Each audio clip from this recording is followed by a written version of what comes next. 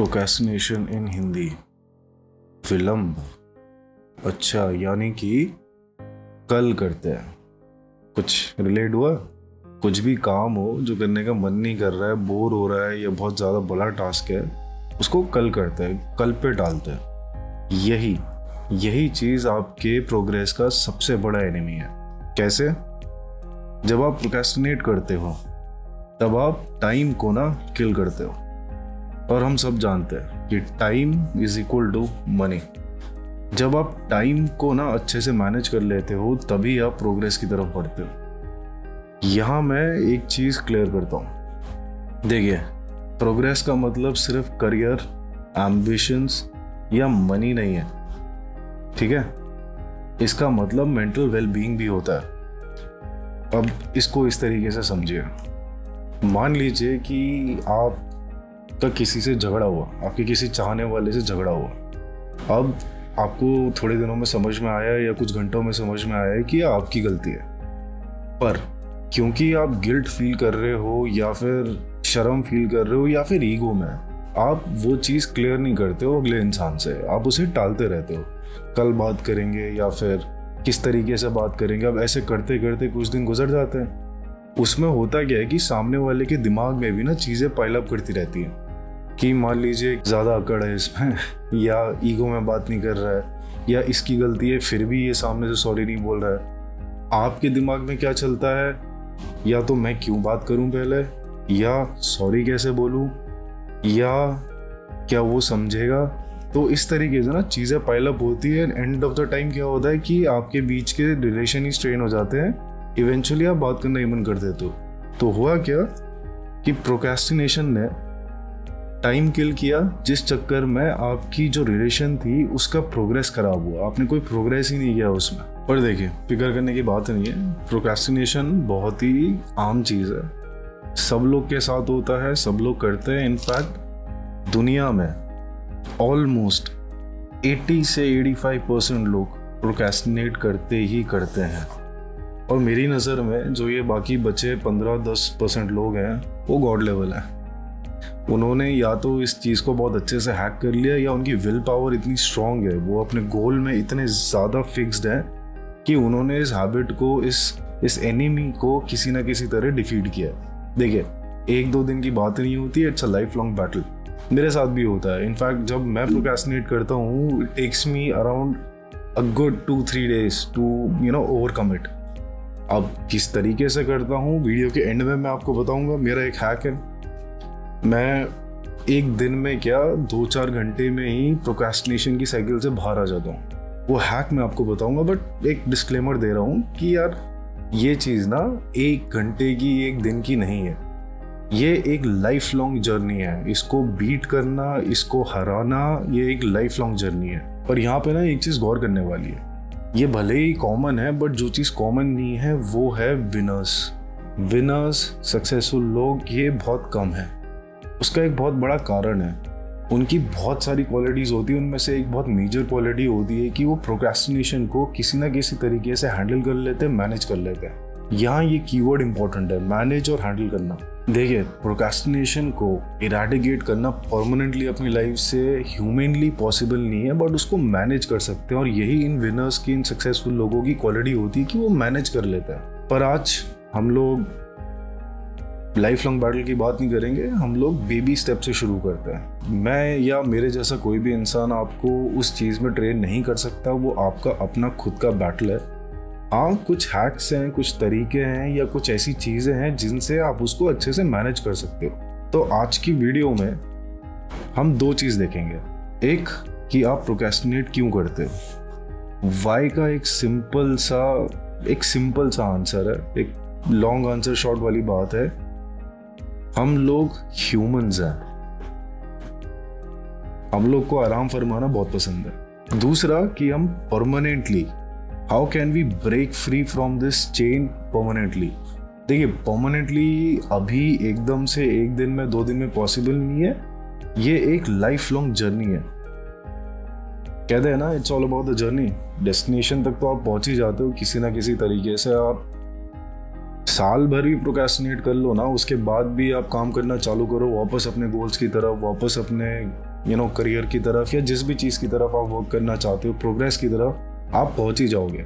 But ये जो journey है, यही सबसे मेन बैटल है। इसको एक और एग्ज़ाम्पल से समझते हैं। मान लीजिए आपका कोई टास्क है, जिसकी एक डेडलाइन है। अब क्योंकि वो इतना ज़्यादा बड़ा टास्क आपको नज़र आ रहा है तो आप ना उसको करने में डिले करते हो। आप डिस्ट्रैक्ट होते हो, आप कंटिन्यूसली सोशल मीडिया की फीड्स में एंडलेसली देखते रहते हो। धीरे धीरे प्रेशर बिल्डअप होता रहता है जैसे जैसे वो डेडलाइन पास आती रहती है और स्ट्रेस और एनजाइटी बढ़ती है।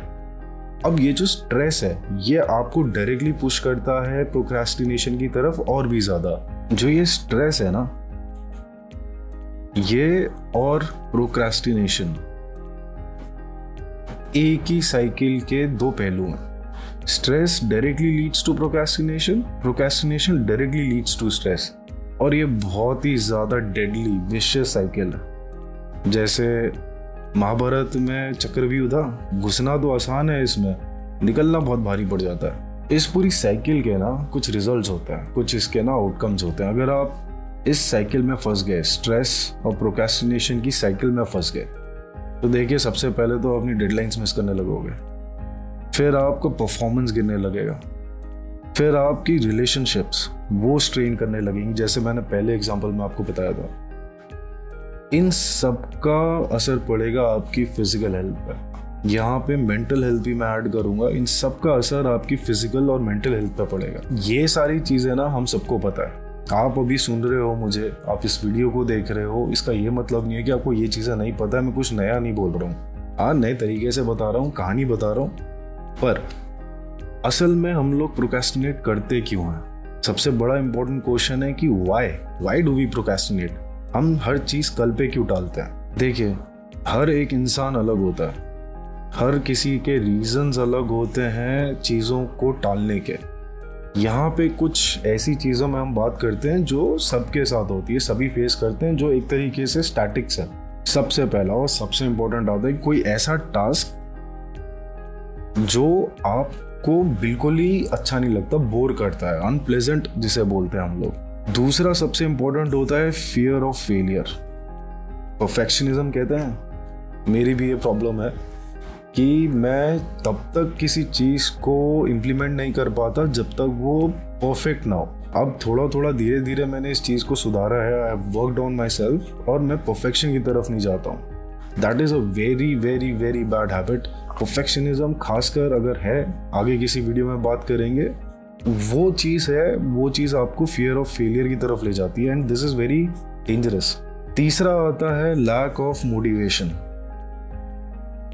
देखिए, किसी भी टास्क को या किसी भी गोल तक पहुँचने के लिए ना आपको मोटिवेशन चाहिए होती है। अब मोटिवेशन हलवा नहीं होती कि बस किसी दिन गए, बाज़ार में गए, खरीद के लेके आ जाए। मोटिवेशन खुद में होती है, खुद से लानी पड़ती है, खुद से काम करते हो और जब ये नहीं होती है, तब आप प्रोकेस्टिनेट करना चालू करते हो। चौथा है कि आप टाइम मैनेजमेंट नहीं कर पाते हो। बहुत लोगों से आपने सुना होगा, बहुत लोग आपसे ये बात कहते होंगे कि you need to manage time time management सबसे इंपॉर्टेंट है। रूटीन सेट करते हैं, सब करते हैं, सिर्फ़ टाइम मैनेजमेंट करने के लिए और वही चीज़ जब नहीं होती है तो भी हम प्रोकेस्टिनेशन की तरफ़ बढ़ चलते हैं। लास्टली और आज के सिनारियों में सबसे इम्पोर्टेंट मेरे हिसाब से तो ये रहेगा डिस्ट्रैक्शन बहुत हैं लाइफ में। पाँच मिनट होते नहीं है कि आपका फ़ोन नोटिफिकेशन देने लग जाता है। सोशल मीडिया में हम लोग इतने ज़्यादा इनग्रेव हो चुके हैं कि हमें कोई नोटिफिकेशन मिस ही नहीं करना। तो हम काम कर रहे हैं इंपॉर्टेंट काम कर रहे हैं, अपना प्रोजेक्ट कर रहे हैं, अपना कुछ यू नो इम्पोर्टेंट किसी चीज़ में बैठे हुए हैं सडनली हमारा फ़ोन बचता है। हाथ तुरंत फ़ोन की तरफ़ जाता है कि क्या आया अभी वीडियो में मैंने आपको बोला कि हर एक इंसान का अपना अलग रीज़न होता है प्रोकेस्टिनेट करने का। सबसे इंपॉर्टेंट होता है उस वाय को पहचानना। आपका क्या वाय है? मेरे अपने पर्सनल अगर वन टू वन में आपसे बात करूँ तो मेरे दो वाइज हैं। सबसे पहला तो है मेरा बर्नआउट मैं बहुत काम करता हूँ। मैं पंद्रह सोलह घंटे एक स्ट्रेच में काम कर सकता हूँ और मैं अक्सर करता भी हूँ। दूसरा मैंने आपको बता ही दिया। परफेक्शनिज्म। ये मेरा सबसे बड़ा कारण है फेलियर का। All right now let's talk about how can we break free from this cycle ये जो स्ट्रेस और प्रॉक की साइकिल है, हम इससे ब्रेक फ्री कैसे कर सकते हैं? सबसे पहला है, आप अपना ट्रिगर आइडेंटिफाई करिए।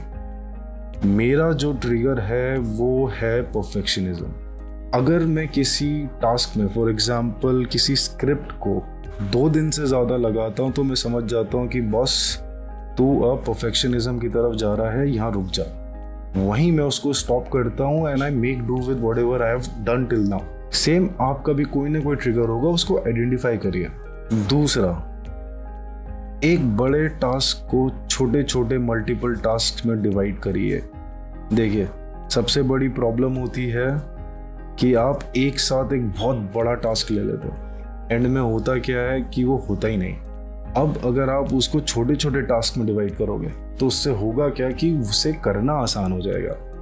कहते हैं ना छोटे छोटे पार्ट्स में जब आप डिवाइड करते हो छोटे छोटे गोल्स जब आप अचीव करते हो तो एक कंपाउंडिंग इफ़ेक्ट होता है। तो वो जो आपका एक बड़ा ह्यूमंगस एकदम मुश्किल टास्क है ना, वो कवर हो जाता है। फॉर एग्ज़ाम्पल आपको अगर कोई माउंटेन चढ़ना है, अगर आप ये एक्सपेक्ट करोगे कि आपने से एक्सरसाइजेस नहीं करी है। पहले तीन चार महीना आपने कोई वॉकिंग नहीं करी है, ना कुछ करी है। आप डायरेक्टली अपने बेड से उठे हो और सीधा चढ़ने पहुँच गए हो।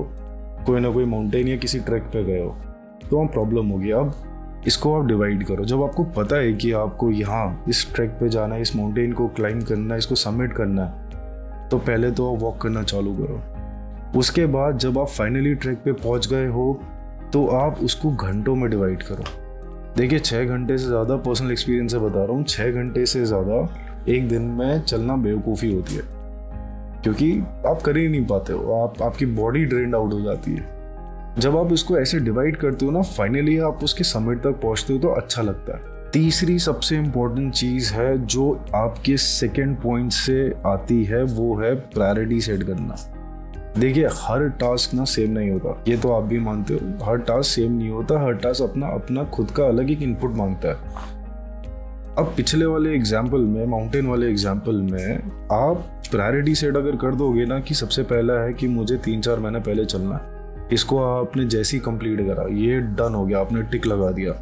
आप ऑटोमेटिकली कॉन्फिडेंट हो जाओगे हाँ यार, अब मैं ना चढ़ सकता हूँ। फिर जैसे ही आप पहले दिन चलना चालू करें, आपने छः घंटे चले, पूरा दिन लगाया इंजॉय करके चलाया। आप एक दिन और करीब आ गए उस माउंटेन को सबमिट करने। तो आपको और अच्छा लगेगा कॉन्फिडेंस आएगा। वैसे ही किसी भी चीज़ में, ये तो मैं माउंटेन का एक एग्ज़ाम्पल ले रहा हूँ, किसी भी चीज़ में आप उसके ना प्रायोरिटी सेट करिए कि कौन सा टास्क इंपॉर्टेंट है। फॉर एग्ज़ाम्पल एक एक्सेल शीट बनानी है डेटा इकट्ठा करना है। सबसे इंपॉर्टेंट है उसमें डेटा कहाँ से लाओगे? फिर उसमें इंपॉर्टेंट है कि उसको आप मार्शल कैसे करोगे? फिर उसमें इम्पोर्टेंट है कि आप उसको स्ट्रक्चर कैसे दोगे। अगर आप इन छोटे छोटे टास्क को अलग अलग डिवाइड करोगे और उसी हिसाब से इनपुट करोगे तो फाइनली जो आपकी शीट बन के निकलेगी, वो अल्टीमेट होगी। चौथा जो बहुत इंपॉर्टेंट चीज़ है, उसे कहते हैं टू मिनट रूल ये होता क्या है? देखिए, आपने यहाँ पे प्रायोरिटी सेट करी टास्क को अलग अलग उसमें डिवाइड किया।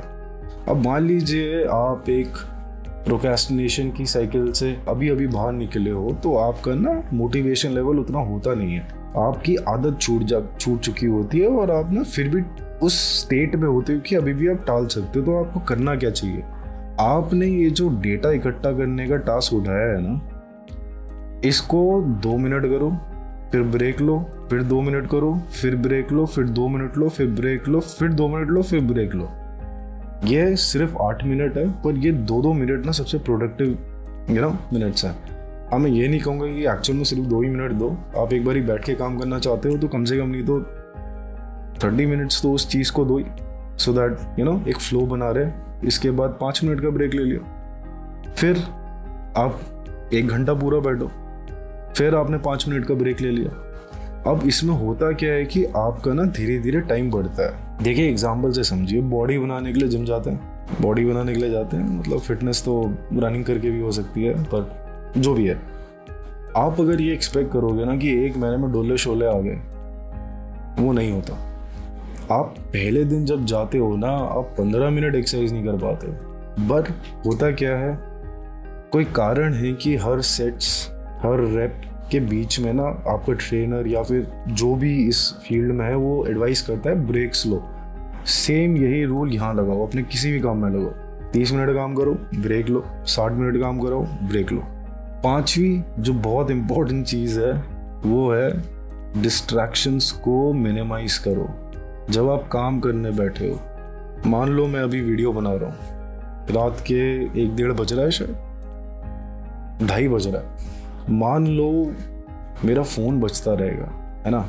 मैं काम कर रहा हूँ, कुछ ना कुछ हो रहा है मेरे फ़ोन में, मैं उस पर बार बार देखते जा रहा हूँ। मैं ये वीडियो ही पूरी नहीं कर पाऊँगा। इसलिए आप भी अपनी डिस्ट्रैक्शंस को साइलेंट करो। आजकल सारे फ़ोन में जेन मोड भी होता है डीएनडी भी होता है, आपका क्या कहते हैं उसे डाउन टाइम भी होता है, बहुत कुछ होती हैं चीज़ें। आप ना उसका यूज़ करो, आप अपने डिस्ट्रैक्शंस को कम करो। सिर्फ़ फ़ोन या सोशल मीडिया ही डिस्ट्रैक्शंस नहीं होता है। मान लीजिए आपको अपने दोस्तों से मिलना है और आपका काम भी करना है उस टाइम पे आपको आपको ना नो कहना सीखना पड़ेगा। आगे किसी वीडियो में इस बारे में भी बात करेंगे। पावर ऑफ़ सीइंग नो जब आप नो कहना सीख जाओगे ना, आप वैसे ही सक्सेस की तरफ़ बढ़ चुके हो। सिक्स चीज़ जो इसमें आती है वो है रिवॉर्ड देखिए, ये सुनने में तो बहुत एक छोटी सी चीज़ लगती है, बट मैं आपको इसका फ़ायदा बताता हूँ। आपका ना माइंड जो है ना, वो एक तरीके से ट्यून होना चाहिए। उसको इंसेंटिव्स पसंद है, उसको रिवॉर्ड्स पसंद है, उसको आराम करना पसंद है। जब आपने ट्रिगर आइडेंटिफाई कर लिए, आपने प्रायोरिटाइज कर लिया, आपने छोटे छोटे टास्क में डिवाइड कर लिया, आपने इस रूल के हिसाब से वो चीज़ें कंप्लीट कर ली, आपने डिस्ट्रैक्शन हटा दिए, आपको अपने आप को रिवॉर्ड देना बनता है, बॉस। मैं अपने आप को किस तरीके से रिवॉर्ड करता हूँ, मुझे कॉफ़ी पीना बहुत पसंद है। एक टास्क मेरा कंप्लीट हुआ, मैं कॉफ़ी पी लेता हूँ। मुझे अपने डॉग के साथ खेलना पसंद है। मेरा कुछ काम कंप्लीट हुआ थोड़ा सा स्टीम ऑफ़ करने के लिए मैं उसके साथ ऐसी फर्श पर लेट जाता हूँ। जो आप में से कोई अगर एनिमल लवर्स है तो उनको समझ में आएगा कि अपने डॉग के साथ ज़मीन पे लेटने में क्या मज़ा आता है। इस तरीके के रिवॉर्ड्स ना अपने आप को दीजिए। आप ये एक्सपेक्ट नहीं कर सकते कि आप काम करते रहो करते रहो करते रहो, आपको उसके बदले कुछ ना मिले। गिव एंड टेक की होती है हर चीज़, चाहे वो रिलेशन हो, चाहे आपको खुद का माइंड और हार्ट का कॉम्बिनेशन ही क्यों ना हो। लास्टली इसमें है कि आप सपोर्ट सीख करिए। अब देखिए ये ज़रूरी क्यों है। देखिए, मान लीजिए आप इनमें से कुछ भी चीज़ नहीं कर पा रहे हो, है ना? हर इंसान अलग अलग होता है मैं भी बहुत चीज़ों से गुजरा हूँ तो मैं ये तो बोलूँगा नहीं कि ये सब करना एकदम यूँ फटाक का काम है, फटाफट कर सकते हो, नहीं होता। आप ना अपना सपोर्ट सिस्टम बनाओ। या आप किसी प्रोफेशनल की हेल्प लो। आप ले सकते हो। बहुत सारे प्रोफेशनल्स हैं जो एक्सपर्टाइज करते हैं इन चीज़ों में। आप अपना किसी फैमिली मेंबर से बात करो। आप अपने किसी बहुत ही क्लोज किसी पर्सन से बात करो बट ना किसी ना किसी से बात करो। अगर आप नहीं कर पा रहे हो टॉक टू दम दे हेल्प यू आउट देखिए, जो आपसे प्यार करता है, मोहब्बत करता है, एक चीज़। दूसरी चीज़, जिसको आप पैसा दे रहे हो किसी काम के लिए, वो आपका काम करता ही करता है, वो आपका भला ही चाहता है, वो आपके लिए कुछ ना कुछ पॉजिटिव ही करता है। तो शर्मा मत और सपोर्ट सीख करो। देखिए, वीडियो के स्टार्टिंग में मैंने आपको बताया था कि मैं आपको अपना हैक बताऊँगा कि मैं इस प्रोकेस्टिनेशन की साइकिल से बाहर कैसे आता हूँ। देखिए, मैं यहाँ पर एक चीज़ क्लियर करता हूँ। ये जो साइकिल है ना, इससे बाहर निकलने के लिए आपको बहुत मेहनत करनी पड़ती है, उससे पहले। कैसे? आपको हैबिट्स डेवलप कुछ करनी पड़ती हैं। अगर आपकी हैबिट्स डेवलप्ड है ना, देखिए, मैं इसको इस तरीके से पुट करता हूँ। हैबिट्स ना रामबाण है। आपके हर एक प्रॉब्लम का, वो ऑटोमेशन पे डाल देता है। आगे एक वीडियो मैं बनाने वाला हूँ हैबिट्स पे। आप देखिएगा सब्सक्राइब करिएगा इस चैनल को तो आप पे वो नोटिफिकेशन आएगा। आपको हैबिट्स बनानी पड़ती है तभी आप इस पूरे साइकिल से ब्रेक कर सकते हो। चाहे कितनी बार भी आपके लाइफ में आप प्रोकेस्टिनेट करो, आप उस साइकिल से हमेशा निकलोगे। अगर आपकी कुछ हैबिट्स है, आपके कुछ ऑटोमेशन है, मेरा पर्सनली मैं एक मॉर्निंग पर्सन हूँ, मुझे सूरज उगता हुआ देखना बहुत पसंद है। मैं जनरली सुबह छः साढ़े छः कभी कभार पाँच बजे उठता हूँ। अपने डॉग को ले जाता हूँ वॉक कराता हूँ, उसके साथ फिर मैं रनिंग भी करता हूँ। वापस आता हूँ, नहाता हूँ, नाश्ता करता हूँ और साढ़े आठ, नौ बजे तक अपनी टेबल पे होता हूँ। ये मेरा जर्नल रूटीन है मॉर्निंग का।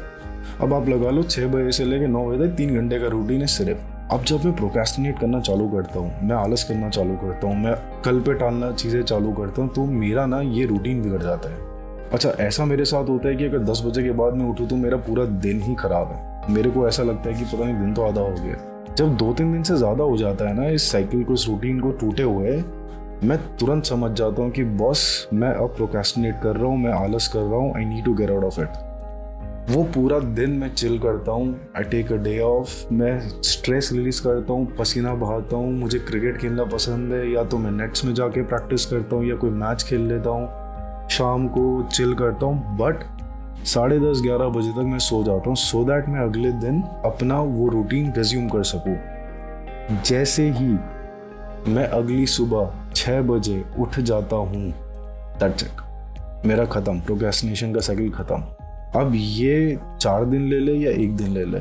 तो ये सिर्फ़ उन तीन घंटों की बात है और ये वो हैबिट्स हैं जो मैंने पर्सनली डेवलप करी अपने आप को सुधारने के लिए। देखिए, मैं भी एक नॉर्मल इंसान हूँ बहुत चीज़ों से जूझा हूँ, आप भी जूझते होगे। आप अगर इस वीडियो में यहाँ तक पहुँचे हो तो दैट मीन्स आप भी जूझ रहे हो। मेरी पर्सनल एडवाइस है कि अगर आपको प्रोकेस्टिनेशन की साइकिल तोड़नी है बिल्ड योर हैबिट्स सेटबैक्स आएँगे प्रॉब्लम्स होंगी।